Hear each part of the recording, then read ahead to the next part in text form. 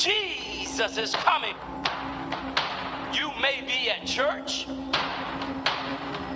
You may be at work. You may be asleep. God grant that you will be ready when he makes his personal appearance.